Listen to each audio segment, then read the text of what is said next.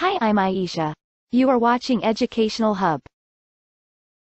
Fake references generated by AI also often mimic legitimate citations, but lack actual sources, misleading researchers and undermining academic integrity.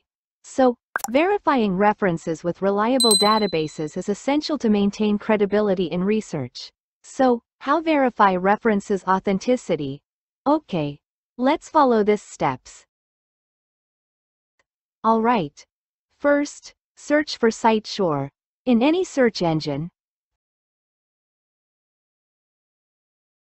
click on this website.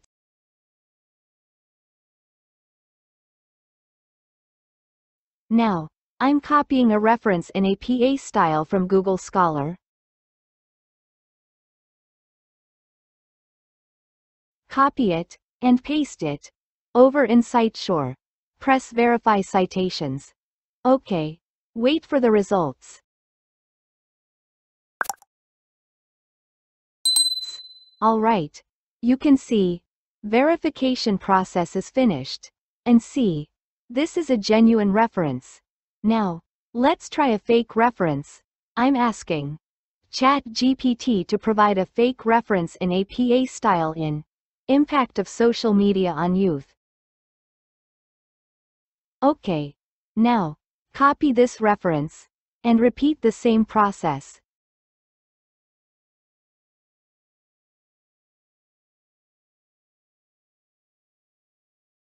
Wait for verification is being done.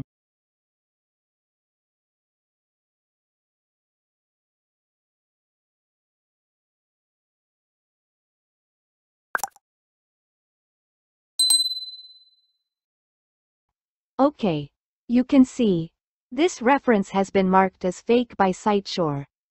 Thank you for watching, like share and subscribe my channel for more informative videos.